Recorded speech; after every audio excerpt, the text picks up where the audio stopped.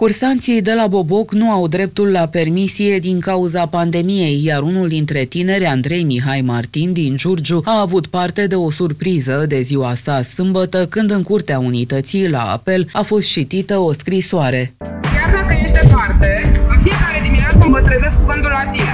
Știu că poate ți este greu să te adaptezi acestui nou stil de viață, însă tu ai fost și ești un învingător și orice drum ai urma, eu te voi sprijini, noi te vom sprijini necondiționat.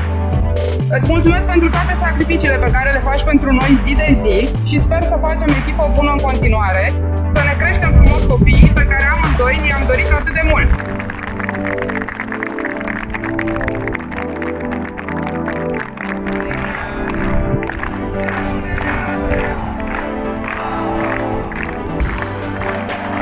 Extrem de emoționat, sărbătoritul a constatat că este o scrisoare din partea soției cu care are doi băieței, de 8 luni și de 2 ani și jumătate. Andrei Martin a ieșit în fața formației și a primit un tort din partea unității. Viitorul soldat a împlinit 36 de ani. Cu siguranță nu va uita această aniversare.